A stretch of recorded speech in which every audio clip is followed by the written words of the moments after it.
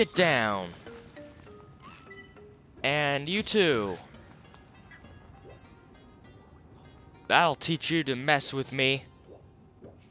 Really, you, you did no harm to me. You were just there, and I had a bow, and I don't have a shortage of arrows because I have a wonderful... Actually.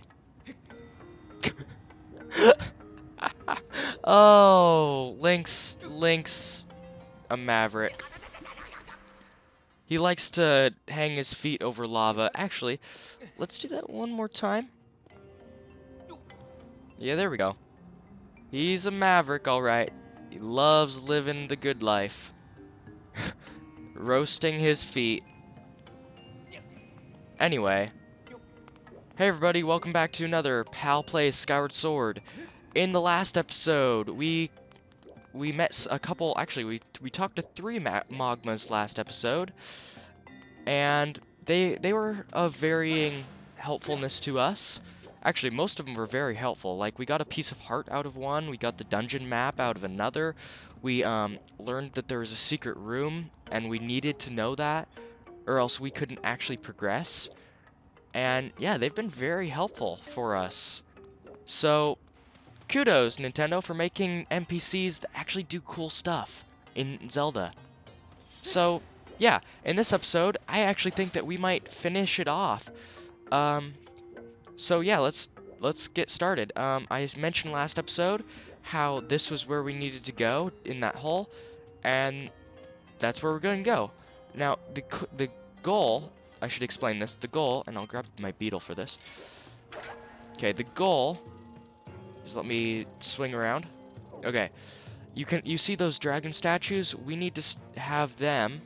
Th this is basically a giant dam that we're on, and we need uh, these the statues to start releasing the lava in order to create a current so that this uh, spiny fruit, which I could have bioed like 20 times, and yet I haven't yet, so that spiny fruit can move us along the lava river. So, let's go down. Without further ado. Now, I don't think there are any enemies down here. I could be very wrong, and we're going to find out in a second. I can't hear any, so it seems fine. Now there's stamina fruit in here, which we haven't seen stamina fruit in a cave like this before. So you'd think there'd be enemies, but there actually aren't. Now, I see there's a bomb there. We can only push it one direction that we really can see. I mean, we could push it this way, but this is the only place that's helpful. Now, what we want to do is, that will release the lava flow, and what we need to do is crawl like crazy we will die if this lava catches us. That is why the stamina fruit is here. You want to crawl as fast as you can, getting stamina fruit, and running for your life. I might catch us, although I think we're in the clear. Yep, we're in the clear, barely. Climb out, Link. Climb. Whew, I've actually gotten killed on that before, because that is pretty hard. If you miss like one turn, you're dead. So, we released the lava flow. So now we can continue on, and I don't see why this door is here. It's not like... This isn't an older Zelda game. The game doesn't need to load to go through this door. You know, if you look at it... Let me turn here. All of this stuff is already loaded, so I don't know why we needed a door there at all. I guess it's just Zelda tradition. I don't know. Anyway, Get off me. Oh, well, that, that was very helpful to our cause. Yeah, we don't even need a jelly blob, so skip the cutscene. There we go. Now, this game is better than, um, I think I made a comment really early in this LP about how this game kind of stopped doing the thing that Twilight Princess did, and that was showing cutscenes every time you got a collectible. Now, or text boxes, mind you. Now, the game does do that, but in Twilight Princess, it's it's much worse. In Twilight Princess, it will show you one of those text boxes every time you get a rupee that is not a green rupee. Seriously. Well, not every time. It's every time you load up the game, it'll show you a rupee that isn't a green one. Actually, I think it might show you a green one too. It's just really stupid. I don't get it. Okay, what's up there? I don't know. This is obviously the boss door. And that's obviously a Bokoblin that will kill. And he took like four hits, so... And he dropped a thing, so let's grab that. Okay, let's continue on. I don't need the text box or the cutscene or any of this. Okay, now let's go to the left first. Because I think that'll be better for us. Unless this is locked. It looks like it's locked. Yes, it is. Okay. So we have to go down um, the... We have to go to the pathway opposite that of the boss door. Oh, and I mentioned how there'd be a way for you to leave this dungeon easily. Here it is. I mentioned that last episode. You can go to the sky from here, which is really useful because this is a long dungeon. I mean, yes, the boss door is right there, but we have a little ways left. So if you want to leave before doing the boss, you can, which is really neat. The Bridge of Decision. Choose the path you believe in. Move forward bravely. Okay. And we'll see here that we have two statues. And yeah, we remember very early in this dungeon, they mentioned the fact that there will be two sleeping statues. The one that they mentioned something like the one that is asleep will grant you good fortune. So let's make what did that say? Leap of faith. Let's go all Assassin's Creed up in up in here and uh, make a leap of faith. Was this the right decision? It was we see a beautiful invisible platform. I mean, really, this isn't. This is very beautiful plat. Uh, beautiful surface. I wish this was in more places of the game because it just, it's gorgeous. And we can't get, because it's so slippery, we can't get up it even by running. So, that's too bad. I want to get to the top of it so we can see it better. It's really beautiful. Oh, and actually, I have a feeling. Let's look real quick. Whoa. That's never happened before. That's really weird. I've never had it so where the beetle starts doing the warning bleep as soon as it leaves your wrist. That's cool. So, there's a goddess wall here. We don't need fairies. We don't really need anything. So, I'm going to get rupees because uh, we have a, I think we have a couple big purchases coming up, so let's get rupees. There, there, and there. Sweet. So, um, I might as well mention, um, we have night, well, we, I, have 19 subscribers now. Pretty neat. And that, my my person-to-person -person ch chat with you is over because, and over quickly because we have a mini-boss battle. We have more Dark Lizalfos. I don't know why I pressed Fi. I don't know why I touched Fi. Okay, yeah.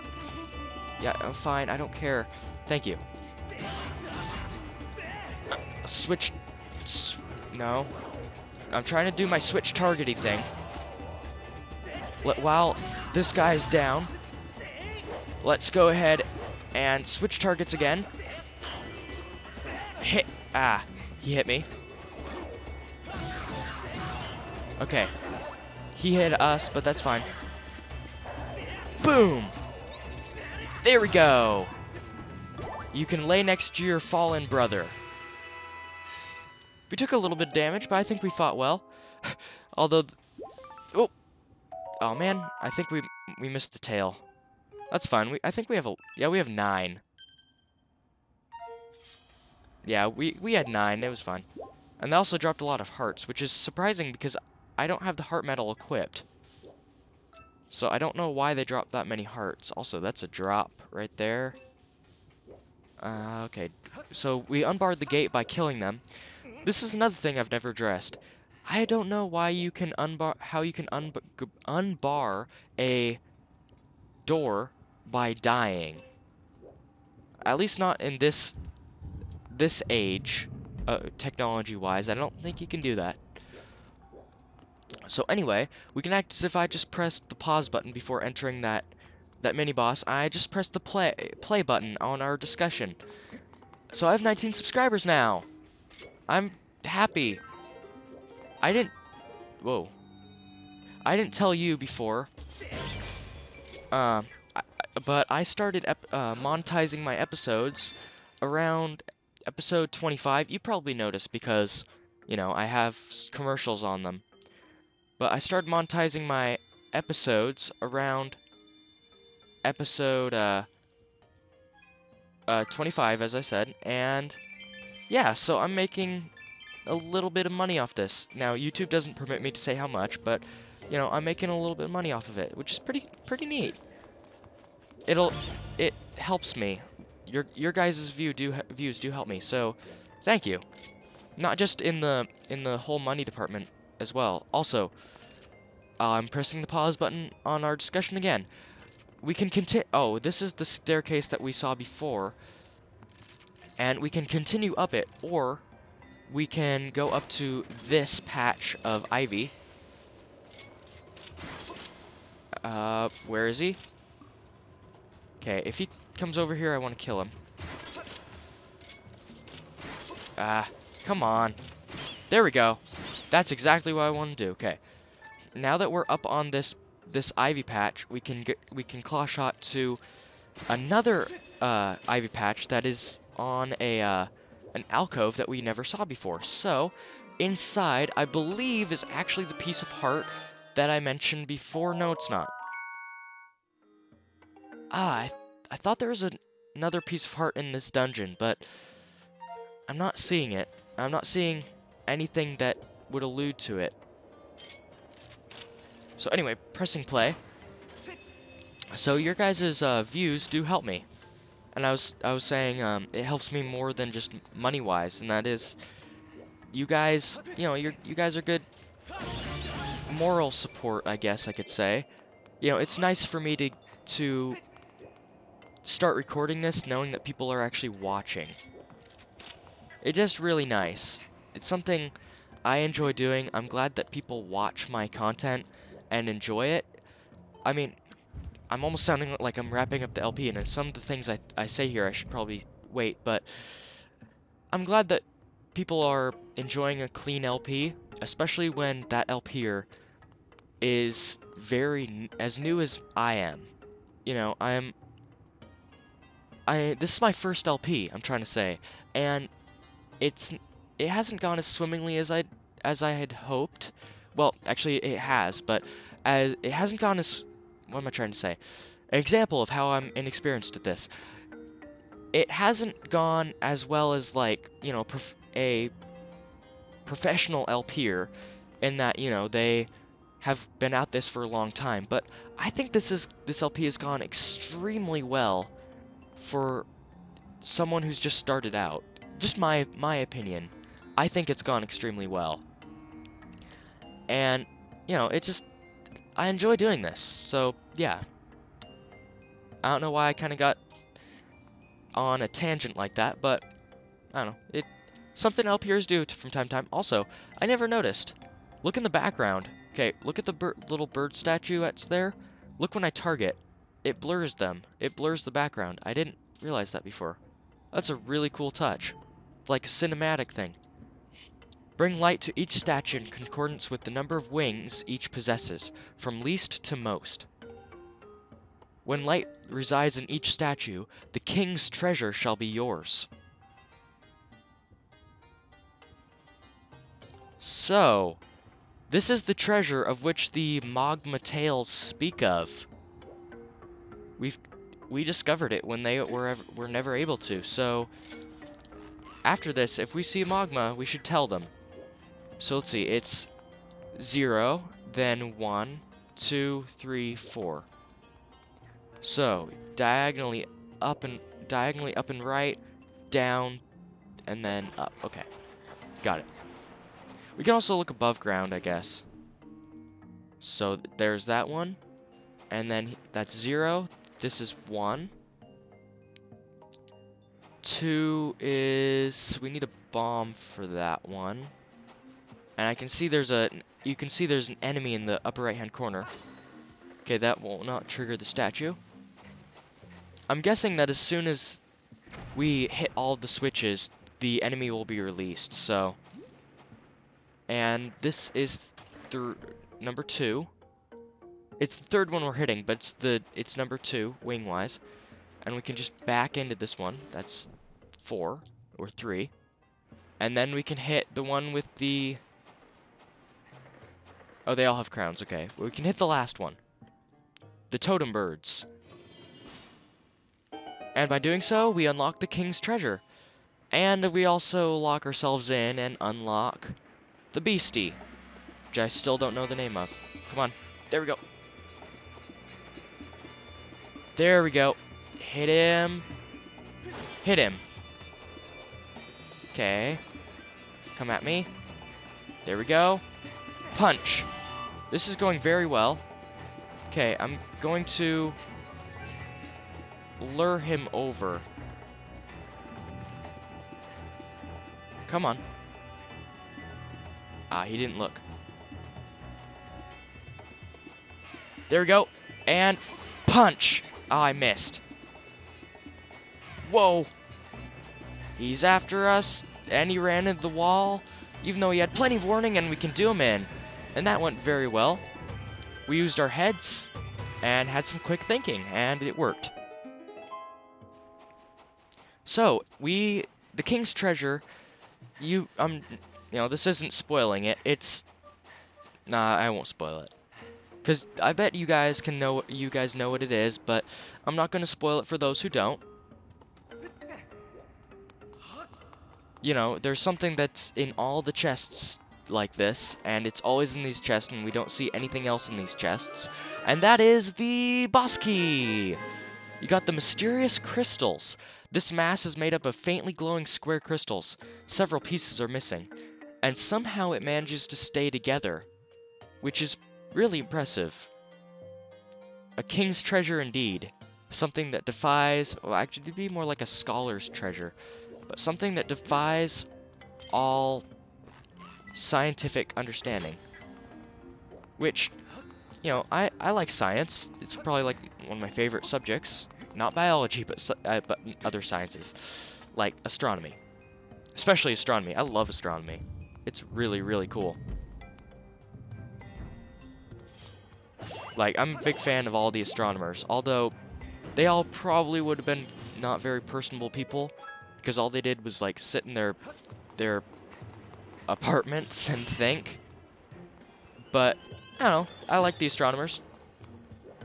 And I, I don't know if you could call Albert Einstein an astronomer, but, you know, he had his, well, I guess I would call him an astronomer. He was just, he was just more than just an astronomer, so, I don't know. But, I really like science, so if I saw that treasure, I would snatch it up, because it's really neat. So anyway, after talk, uh, talking about essentially just my interests, we can go inside the boss door. And also, I really love how this this lock looks. You know, all of the locks have been unique, and I think this is my favorite, because it looks like castle ramparts with um the uh, battlements. It's just really, really neat. I love this design. In fact, real quick, because we have some time, in this episode, I want to praise whoever it is that designed this area. I'll I'll take out the beetle. Now, if if you don't want, if you just want to skip the boss, just skip to like 20 seconds ahead. But I I just want to praise this area. It's very beautiful. Let me do this again. It's just gorgeous. And whoever designed this, I want to see this type of design in Zelda game again. It's just very breathtaking, I think. It's vivid, you know, it has this kind of like Atlantis blue floor tiles, and it just it's just beautiful. It has nice contrast and color. So anyway, this is the is it? I think this is the hardest boss key in the game. Yeah, this is the hardest boss key in the game. And you want to see how simple it is? Spin. Done. Now, these are these are really really easy, although they are really really fun, and I I like that it's different from just a normal key that you just press A and it's open. You actually have to think a little bit. And for someone who hasn't played this game, it is it is kind of hard. Also, prepare yourself for my favorite boss in the game.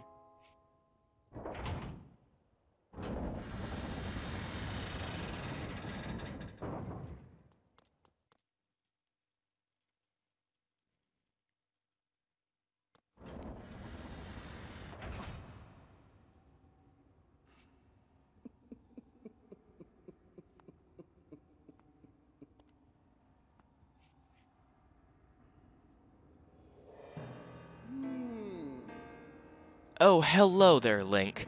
I see you're still among the living. Fancy meeting you here. We seem to bump into each other time and time again. Oh, it's no coincidence, though, is it? You and I, were bound by a thread of fate.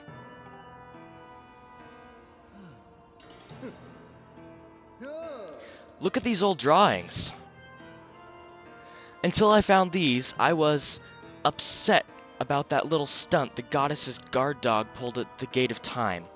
What was that twig's name again? Impa? Well, never mind that, because these drawings suggest the, the existence of a second Gate of Time. This news has just filled my heart with rainbows. I've been a busy boy, searching here and there and everywhere for another Gate of Time.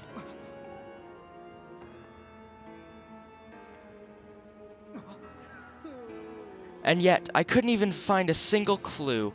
Since I know that I can be honest with you, I'll admit that I got a little sulky. It was frowns all around. The thought of never getting my hands on that darling young girl again was, well, more than I could bear. But then, I found this place. The prospect of a second gate of time has made me positively giggly.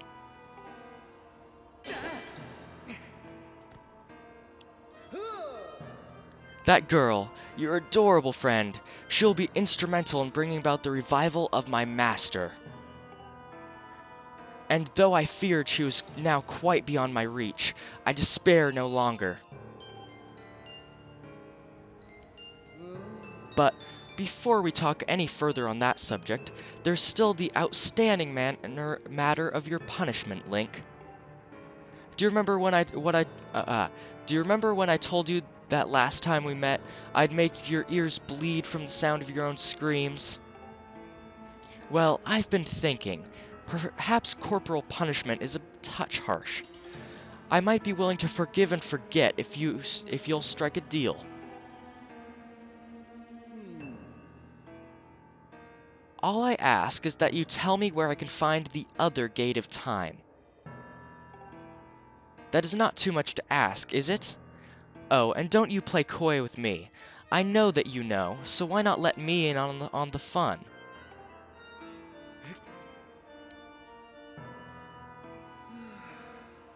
Such behavior. A mischievous boy like you needs to be dealt with firmly. I must warn you, I won't go easy on you this time.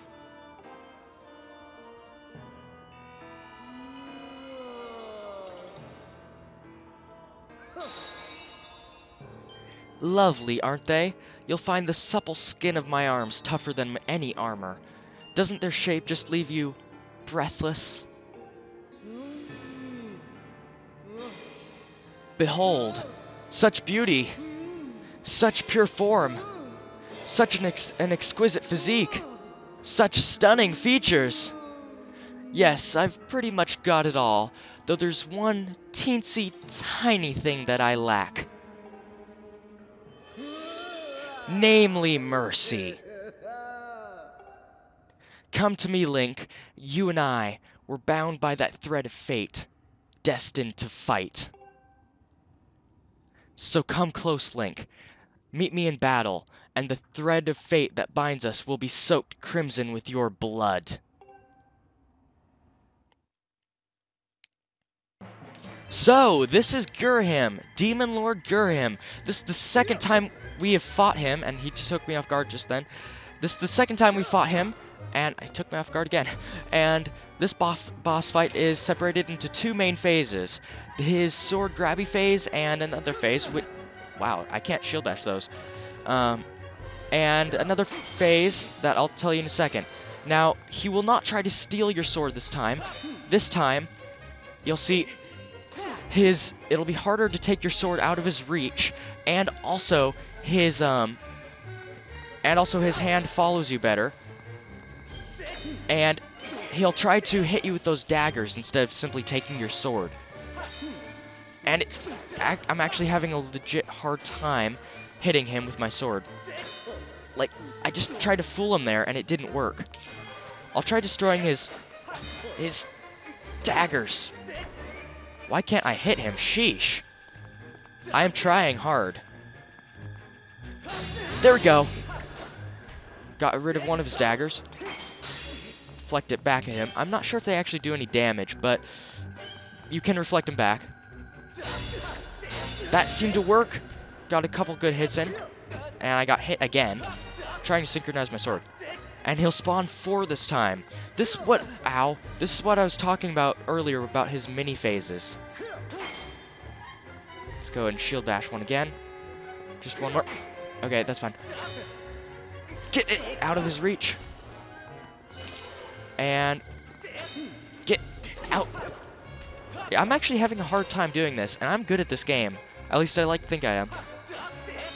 And I can't get it. I can't hit him. Let's fool him, and... See? I just can't get him. I'm not frustrated, it just... He's, re he's really good. There we go. That was a good way to fool him. Perfect. He thought that we were going to swing from the right, except we came around and swung him from the left. That didn't work. I was trying to fool him into thinking that we'd swing from the left because, you know, his daggers were protecting his right, but He blocked that. Also, I have I didn't think I complimented this before, but Ghirahim is very strong. If you think about it, he he stopped spin attacks with his with two fingers. He's really strong. He's definitely not human. Now, he'll draw two swords this time, and that old dash attack that where he overextended himself and allowed us to hit him is gone. He's going to be very patient. As you can see, he's not going to rush in. He's going to summon the daggers to fight for him. And hope to chip away at our health so that he can come in and wield the final blow. He'll also jump like that and come in from above, which is where he gets impatient and overextends himself.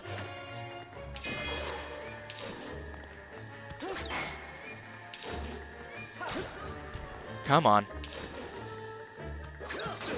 That worked. Let's go ahead and do some actual sword play here. Now, he'll block, but he'll immediately counterattack, which you can, you can, um, which you can dodge. So, he is much more powerful. Now, he'll summon these daggers, and they will hit you. They will all close in and hit you, so you have to use a corresponding sh uh, shield uh, spin attack. I tried to shield bash there. He's also really hard to shield bash because he moves so quickly. And there's little warning to his attacks, too. The least I can hope to do is throw out a couple good good attacks and hope that they connect. I'm really just playing the same hit and run game that he tried to play the first first phase. Let's go ahead and try a Skyward Strike again. And that actually paid off really well because he he rushed in. Really, our our entire battle against Ghirahim is always based off of his his um his impatience. It's kind of symbolic because he is a he is an impatient character. That is his that is his fatal flaw. I believe he said it himself earlier. Here we go. And that's it. Kind of anticlimactic because there isn't an actual amount of times you have to hit him. But yeah. Enough of this foolishness. I am Girahim, Demon Lord. It shouldn't matter how powerful your sword is. You are still nothing. Not just a human, a human child. And yet you prevail. You filthy scamp.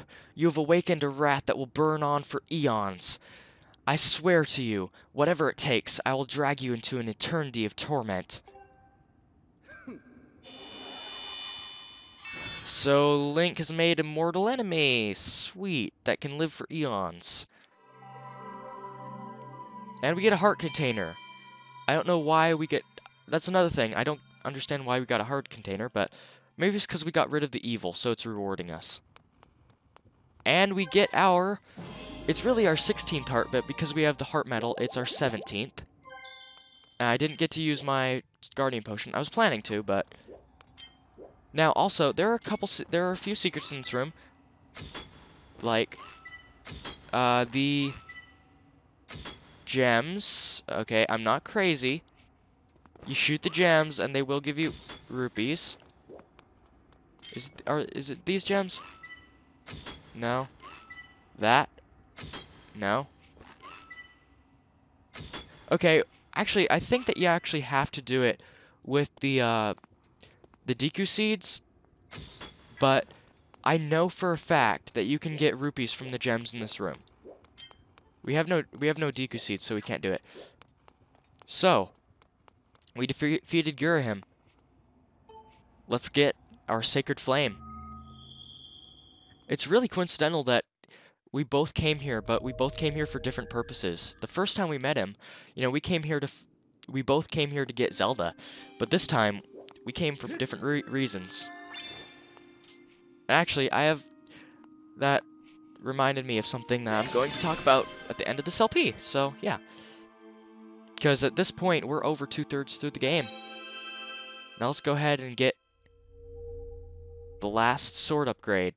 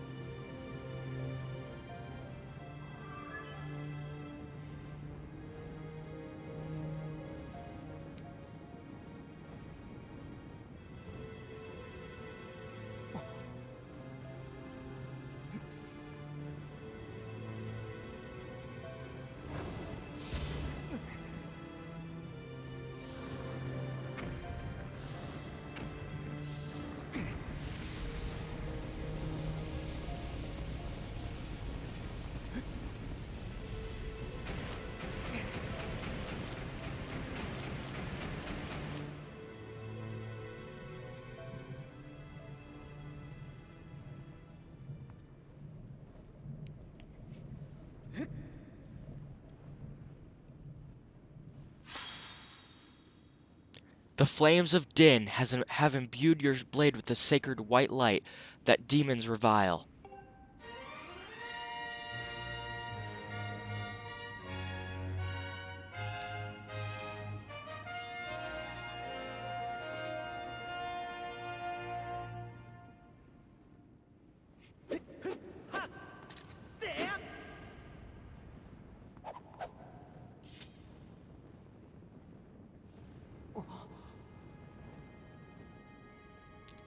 For yet the third time in this game, it now appears that Link has the full Triforce.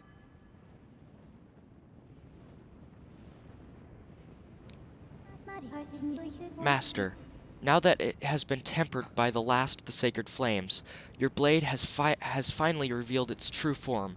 You now hold the Master Sword. With this sword's great power, you can awaken the Gate of Time within the within the sealed temple. I recommend you make your way to this location.